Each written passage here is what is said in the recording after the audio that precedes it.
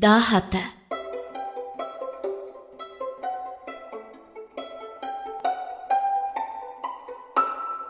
ආවාසගේ ආලින්දයේ හාන්සිපුටුවේ වාඩිව පොතක් කියවමින් හුන් ඉන්ද්‍රජෝති හාමුදුරුවන් වෙත පැමිණි හේමරත්න පසඟ පිහිටුවා වැන්දේය. සුවපත් නිවන් සම්පත්. ස්වාමින්වහන්සේ මට එන්ඩයි කිව්වේ කොළුවා විචාලේය.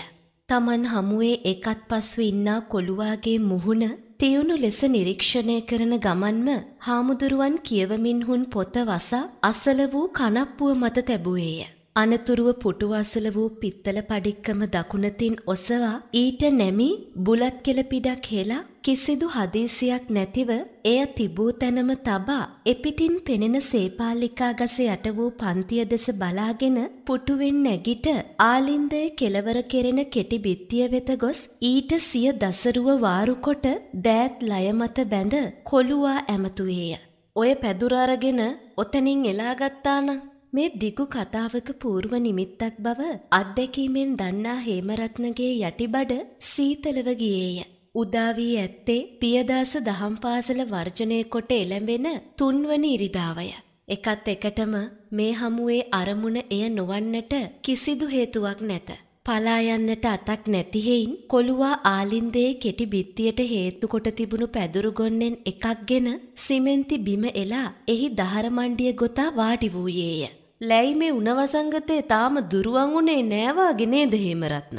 තමන්ටම කියාගන්නා ඉරියව්වකින් කී ඉන්ද්‍රජෝති හාමුදුරුවන් නැවත පුටුව වෙතවිත් එහි වාඩිව චූදිතයෙකුසේ බිම බලාගෙන සිටින කොළුවා ඇමතුවේය. කොළුවා නිහඬය. අදත් පියදාස නැහැනෙව? එහෙයි ස්වාමින් වහන්සේ.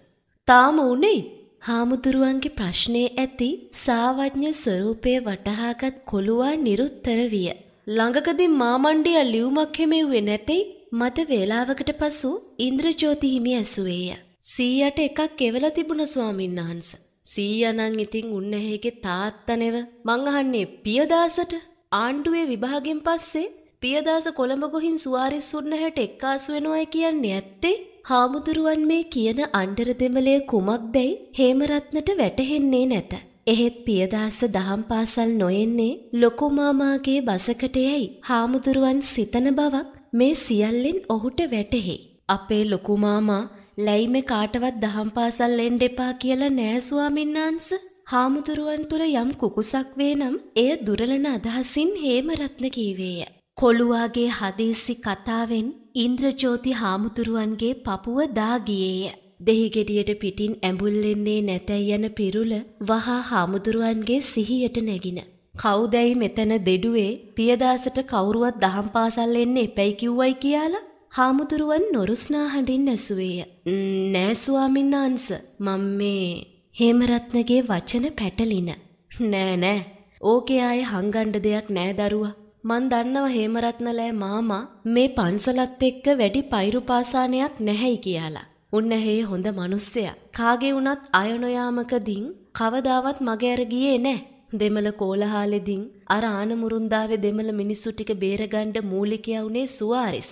දවස් පඩියට බැල්පාටියේ වැඩ කරපු ඇත්තන්ව ස්ථීර කොල්ලා මාස් පඩිකාරීන් කළෙත් උන්නැහෙය කියනවානේ. ඒ සේරුම හරි කියමුකෝ. ඒ වුණත් ඉතින් උන්නැහෙට නොතේරෙන නොයටහින දේවලුත් තියෙනව නොය මේ ලෝකේ. විශේෂයෙන් මේ ආගම ධර්මය ජාතිකාලය ගැන සුවාරිස් උන්නැහෙගේ අදහස් අපිට පිළිගන්න බැහැ. දැන් පේනවනේ උන්නැහෙගේ තාත්තා හේතුහාමි උපාසක උන්නැහෙ. ආන්න නියම සිංහල බෞද්ධයෝ. උන්නැහේ තමන් දන්න වෛද්‍ය සාත්තරෙන් මන්තර ගුරුකම් වලින් රැයක් දාවලක් නැතුව කී දෙනෙකුගේ දුක් අපහසු වලට පිළියම් කරනවද? ආන්න ආදුරුසුමත් ජීවිතයක්. ආන්න එහෙමයි මේ හේමරත්න ළමයාත් හැදෙන්න වැඩෙන්න ඕනේ. ඔය මාමල අදහන කාල්මාස් කියන්නේ බුද්ධාගමේ එන කාලමාරයාටය කියලා අපේ ගුරුහාමුදුරු නමක් පිරුවනේදි කිව්වා මට මතකයි. උන්නහේලගේ වැඩපිළිවෙල් පිටින්නම් බොහෝම ලස්සන තමයි. ඒත් ඇතුලාන්තෙන් අපේ ආගම ධර්මයට විරුද්ධයි. ඒ ඇත්තන් දොඩන්නේ හැමෝම සමාන කරනවයි කියලානේ. එහෙම වෙන්නේ කොහොමයි? පින්දහම් කරන මිනිහත් පස්පවේ දසකුසලේ ගැලිලා ඉන්න මිනිහත් සමාන වෙන්නේ කොහොමේ? බෞද්ධයත් අන්‍යාගංකාර මිත්‍යා දෘෂ්ටිකයත් සමාන වෙන්නේ කොහොමේ? එහෙමනම් ඇයි දිව්‍ය ලෝකේකුයි අපායකුයි දෙකක් තමන් මේ කතා කරමින් ඉන්නේ හය හතර නොතේරෙන පොඩි එකකු සමගේ යන්න හදිසියේ ඉන්ද්‍රජෝති හිමියන්ට සිහිවිය. හා හා අපි ඒ කතා අහක දාමුකෝ. මේ දරුවා හොඳ බෞද්ධ උපාසක උන්නැහේ කෙනෙකුගේ මුණුපුරෙක්. අම්මා තාත්තා මේ පන්සලේ හොඳ දායකයෝ. ආච්චි පසළොස්වක පෝයට සිල් සමාදන් වන උපාසිකාව. හැදෙන ගහ දෙපෙත්තෙන් දැනෙනවාය කියලා කතාවක් තියෙනවනේ. පියදාස මොකක් හෝ කාරණයක් හින්දා දහම් පාසල් නේද්දින් මේ ළමයා නෝරදවා එන්නේ ඒකනේ. එහෙමයි ස්වාමින්වහන්සේ. හේමරත්න පිටව යාමට සිතා හාමුදුරුවන්ගේ පා අභියස වැඳ වැටුනේ සිය මාමණ්ඩිය අතින් හාමුදුරුවන්ට වරදක් වී නම් ඊට Taman වග කියවිය යුතු නොවන බව හඟවන්නටත් එක්කය. කෝකටත් පියදාස ළමයට මං එන්නේ කියලා කිව්වයි කියමුකෝ. මොකද බුද්ධ පුත්‍රයින් වන අපේ යුතුයකම වැරදි පාරේ යමින් අපායගාමී වෙන උදවිය ඉම් මුදාගෙන සුගතියේ පිහිටුවන එක නෙවෙයි. මං කොච්චරවත් බණවරවලදීන් කියලා දීලා තියෙනවනෙව බුදුහාමුදුරුවන් මට්ටකුණ්ඩලී හොයාගෙන ගොහින් දෙමාපියන්නේ වරදින් මරණ මංචකේ උන්නේ අසරණ දරුවට පිහිට වෙච්ච හැටි බුදුන් අසරණයින් සොයා ඔවුන් වෙත වැඩි නමුත් Taman මේ දැන් පියදාස පන්සලට ගෙන්වා ගන්නට උත්සාහ කරන බව සිහි වූයෙන් ඉන්ද්‍රජෝති හාමුදුරුවන් තුල ලැජ්ජාවක් ඇතිවිය.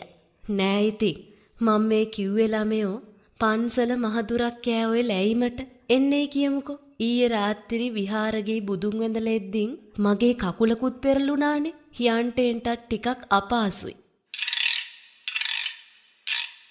අනේ උඹේ ඔය මහලොකු ලොකු හාමුදුරුවන්ට කුද ගහගන්න කියාපන්. දහම් පාසල් ගියා කියලා මිනිස්සු නිවන් යන්නෙත් නෑ. ඕකට නොගියයි කියලා මං අපාය වැටෙන්නෙත් නෑ. අනිකී තිම්බං ඉස්කෝලේදී බුද්ධාගම උගන්වනවනේ. මං ඉරිදට පන්සලේ තපින වෙලේ තාත්තයි අම්මයි එක්කලා යනවා හේනට. අපි හේනේ ගයක් හදන්න යන්නේ. ඒ කොයි සේරටම වඩා අපට වටිනවා. මේ ලැයි මේ සෙනග ගොඩේ ඉඳලා දැන් අපිට එපා වෙලා. සිය කුඩා මිතුරා විසින් ගෙනේන ලද පණිවිඩයට පියදාසගේ ප්‍රතිචාරය එසේ විය.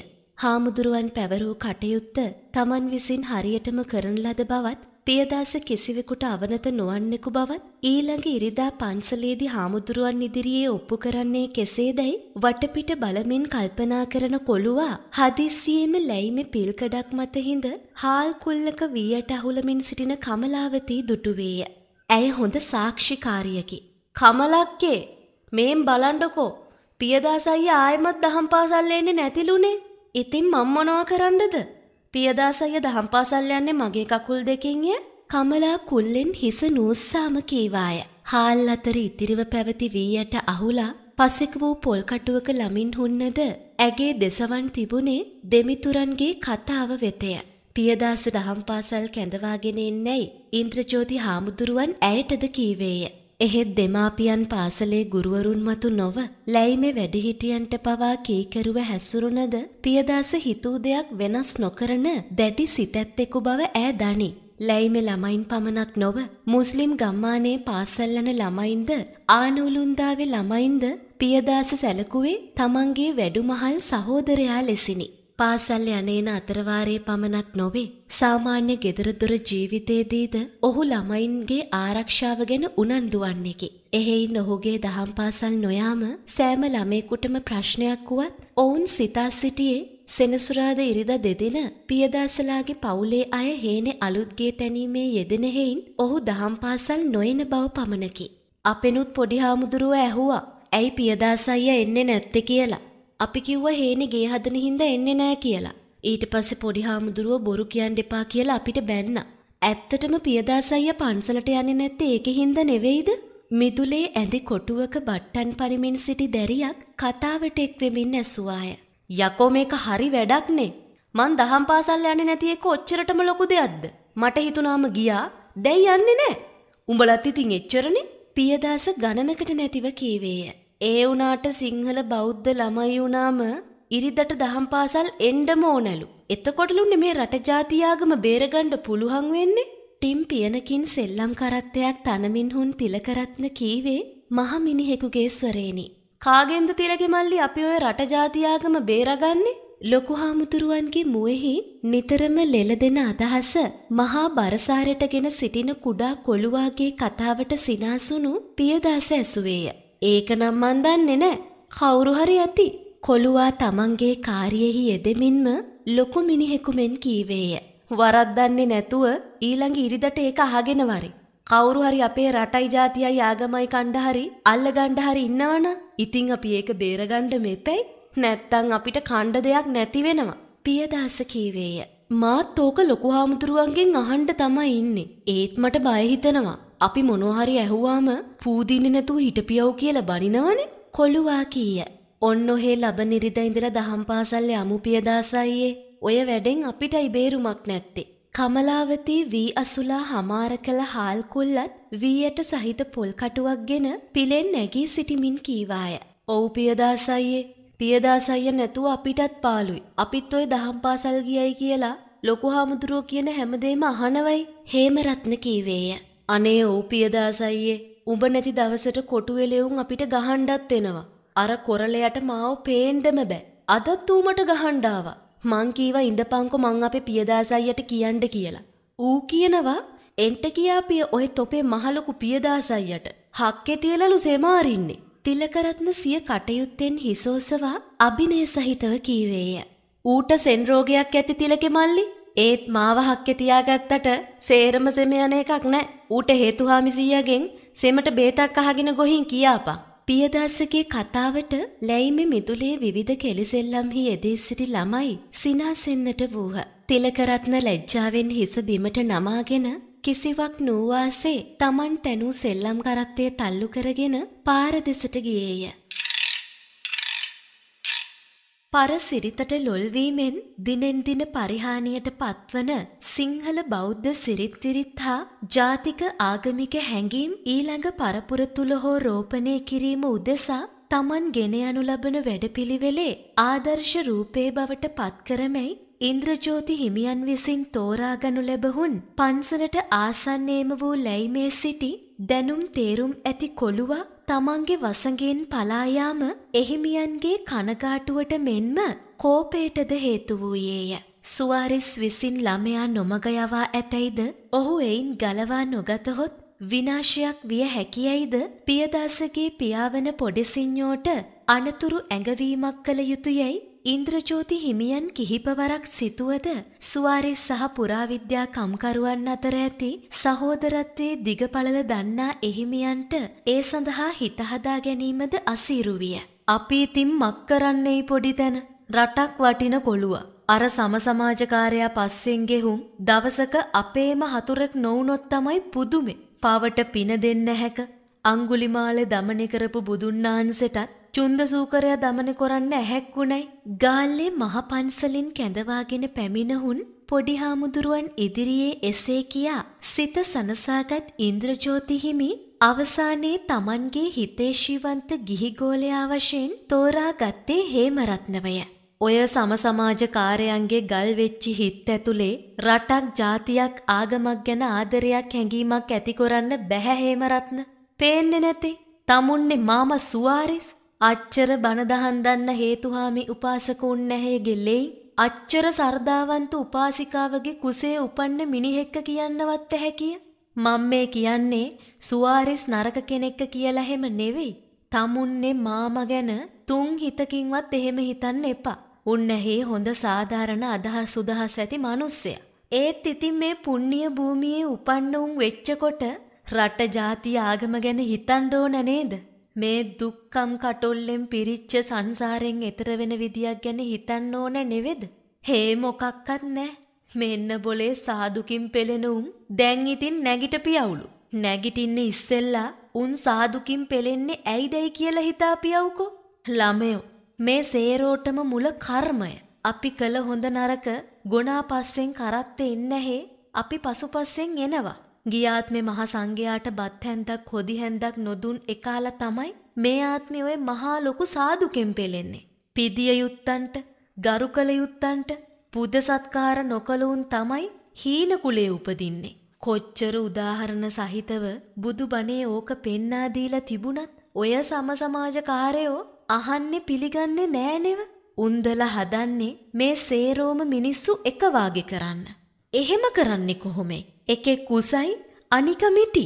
එකෙක් සුදුයි අනික කළුයි. ඒ වාගේ තමයි කෙනෙක් පෝසත් කෙනෙක් දුප්පත්.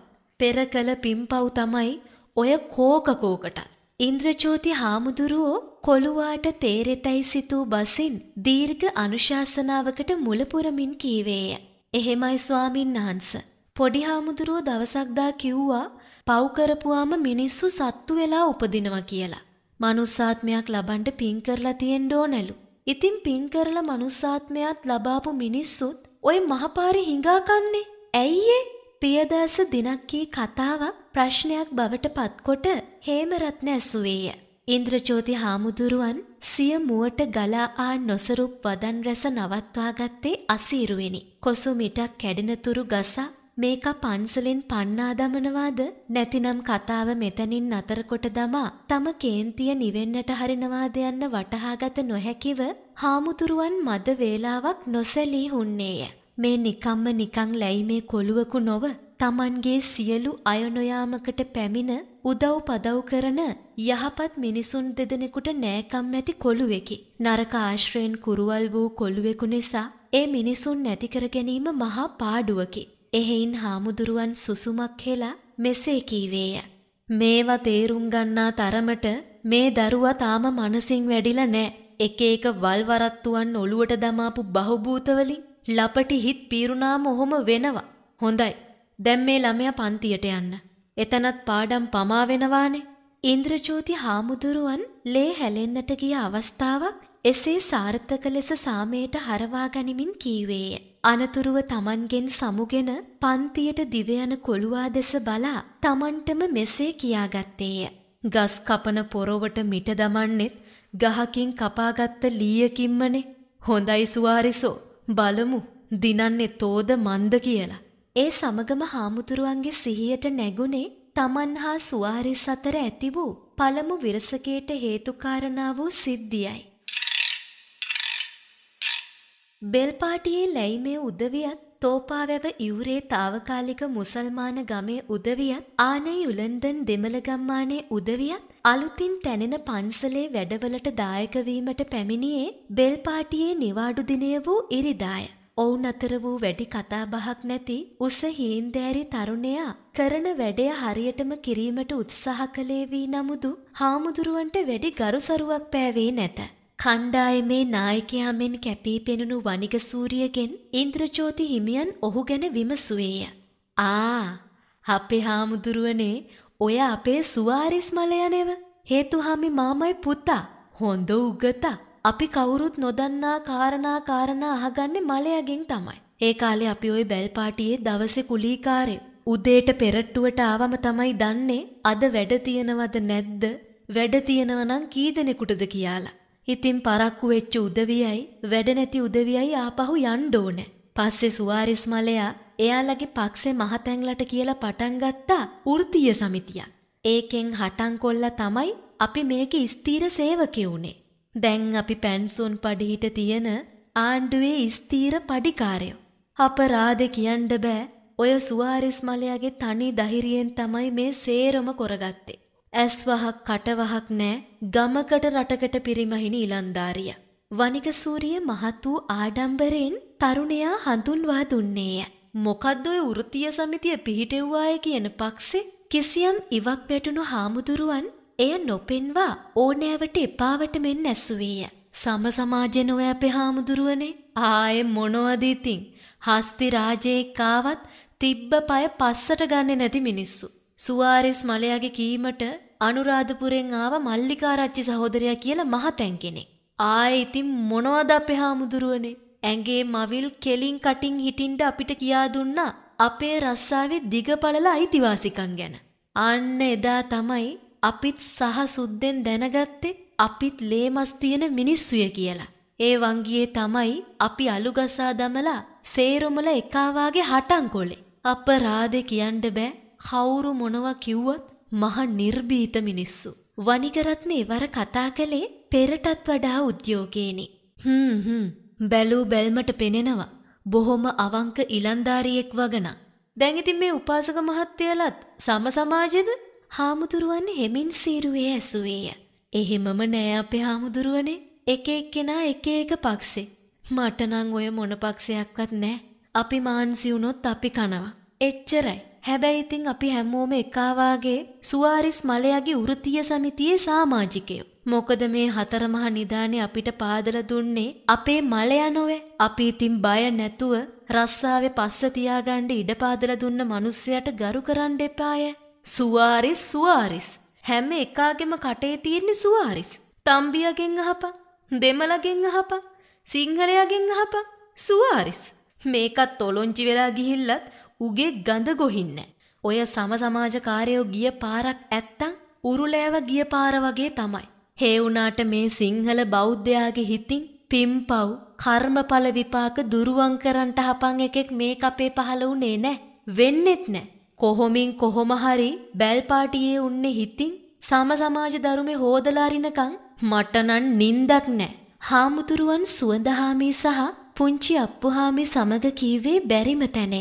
අපේ හාමුදුරුවනේ නික්කමටවත් මේක එකාලා එක්ක ඔය සුවාරිස්ට නරකක් නපුරක් කියන්න යන්න නං එපා. ඔය තෝපාවැව කඩමණ්ඩියේ උන් හිට මිනිහට හිත පක්සයි. ඇයි ඉතින් ඕන මිනිහෙකුට උදව්පදව් කරන නිර්භීත මිනිහනේ. අපිටත් ඉතින් ඔය බින් කොහොඹ කොතල හිඹුටු වගේ දුර්ලභ ඖෂධ කැලෑවේ තියෙන ඉසව් පෙන්නා දුන්නෙත් සුවාරිස්මනේ. අනික ඉතින් මොකක්ද ඒ මිනිස්යාගෙන් අපිට ඇති අරෝව? සුවඳහාමී කීවේය. බොලාට මෙව්ව තේරෙන්නේ නැහැ. ඔය සම සමාජ දරුමේ අපේ මේ බුද්ධ ආගමට හරහට හිටින එක. උන්දලා කියන්නේ මිනිහෙක් මැරුණාම ආයේ උපදින්නේ නෑ කියලා. කර්ම පළදීමක් නැතිලු. මිනිස්සු දුගී දුප්පත් වෙන්නේ ඌරාගෙන කෑමද මොකද්ද එකක් හින්දලු. සේරෝම මිනිස්සු එක සමානයිලු. හරි ඉතින් ඒව එහෙමයි කියපුවාවයිකෝ. මුන් කියනවනේ ආගම අභිඤ්ඤ කියලා. ආගම් අදහන මිනිහා සමානයිලු අභින් කන එකාට. මෙව්වා අහස පොළව උහුලන කතාද මං අහන්නේ. එහෙව් එකෙක්ගෙන් උදව් උපකාර උපදෙස් ගන්නා මේකලා එක්ක අපි කොහොමද මේකේ ඔළුව ගහගන්නේ? අපි දන්නේ නෑනෙව සම සමාජකාරීන්නේ දරුමෙට විරුද්ධ කතා හාමුදුරුවන්ගේ කතාවසාහුන් පුංචි අප්පුහාමි හිත යටින් සිනාසුනේය. ඉන්ද්‍රජෝති හාමුදුරුවන්ගේ භික්ෂු සාරුප්‍යත් ධර්මාවබෝධයත් ගැන ඔහුත් සුවඳහාමීත් හොඳින් දනි. අච්චර උතුම් බෝසතෙකුවන් නායක හාමුදුරුවන්ට පිටුපා ඔහු මෙහි ආවේ සිල් රකින්නට නොව තමන් උඩින් පල්ලෙන් හැදෑරූ වෛද්‍ය ශාස්ත්‍රයෙන් මුදල් උපයන්නටය. තමන් හා සුවඳහාමි බැඳුනේත් ඒ මුදල් නමැති පාශේහිය. පළු පොතු අස්සේත් සල්ලි තියෙනවා යයි කියන මින්නේරි දෙවියන්නේ අඩවියේදී වෙදකමෙනුත් සිල්ලර වෙළදාමෙනුත් ඔවුන්ගේ දෝත මුදලින් පිරුණා සැබෑවය. එහෙත් ගමක් රටක් නෑදෑයෙක් හිතේශීවන්තයෙක් මෙහි නැත. හාමුදුරුවන් කෙසේ වෙතත් තමන් හා සුවඳහාමි ගොඩ දැමූ මසුන් හා සමානය.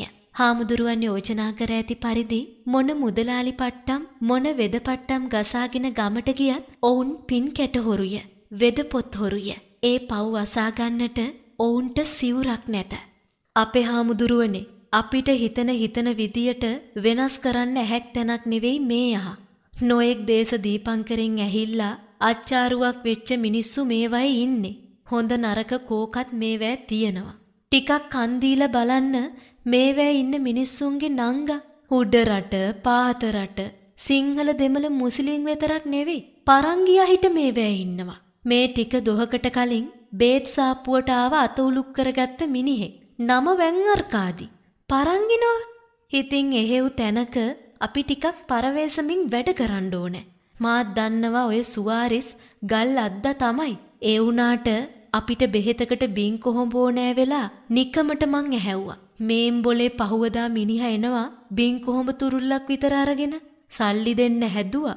මොන මිනිහට කවුරුත් මනාපයි. අනික අපේ ගම් රටවල වාගේ මෙහි පරවේණි ගංකාරයෝ වලව්කාරයෝ නෑ. ආණ්ඩුවෙන් කොලනීඩන් දෙද්දී කුලවාසකම් බලන්නේ නෑ. ඌටයි මූටයි දෙන්නටම එකම ඉඩම් පරමාණි. හැම එකාගෙම කුඹුරුවල පැහෙන්නේ එකම විය. උන්නේ වීයස්සැන්න උන්ටමයි. ගම්පංගු අඳපංගු නෑ. ඒකෙ හින්දා හාමුදුරුවනේ පරිස්සමෙන් මෙහෙ උන් එක විදියක්. සුවඳහාමී අවවාද මුකෙන් කීවේය. ඒ ඇසූ හාමුදුරුවන්ගේ ඇඟ හිව්ඩු පිපින. උඹ කියන්නේ මේ අන්නියංගංකාරීන්ට යට වෙලා ඉන්ට කියලයි මේ බුද්ධ ජීවරේ අන්න ඒක මතක තියාගනි. බොහෝ සැර අඩු කළ ස්වරයකින් හාමුදුරුවන් කීවේය. එහි වූ පරාජිත බව හඳුනාගත් සුවඳහාමි යටි සිතින් සිනාසුනේය.